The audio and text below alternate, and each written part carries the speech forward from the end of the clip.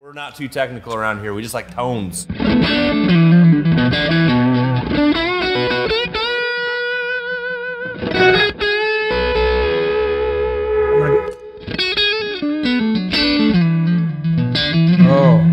let me kick that off.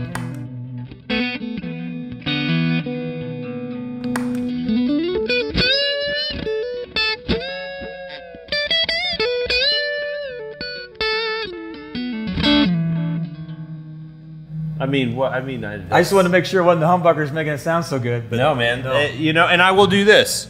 I'm going to cut down the top end of my amp. I'm just going to turn the cut down. Just. All right, turn that back on.